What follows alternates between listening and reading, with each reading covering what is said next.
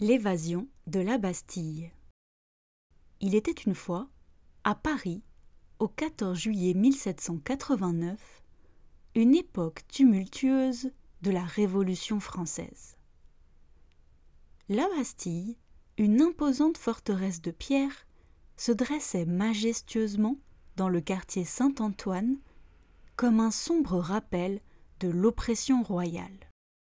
Ce jour-là, un groupe de révolutionnaires déterminés s'était rassemblé aux abords de la prison.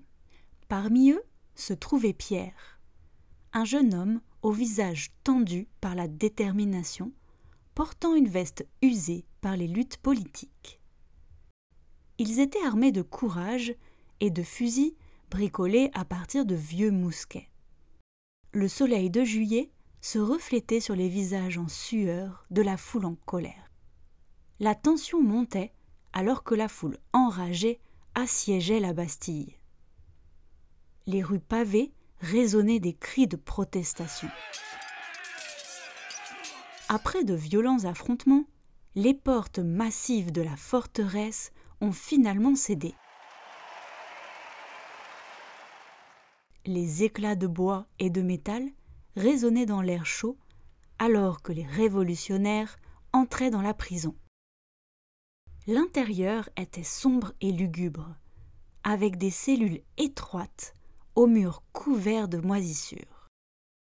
Parmi les détenus, il y avait Jean, un homme âgé, au visage buriné par les années d'incarcération.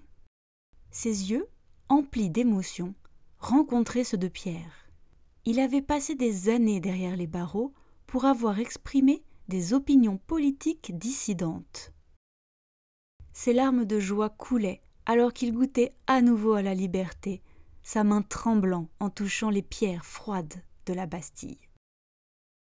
Cette journée, marquée par la prise de la Bastille, est devenue un symbole de la lutte pour la liberté et l'égalité en France. Elle a finalement conduit à des changements majeurs dans le pays, et la Bastille, jadis un symbole de l'oppression, est devenu le symbole de la liberté du peuple français.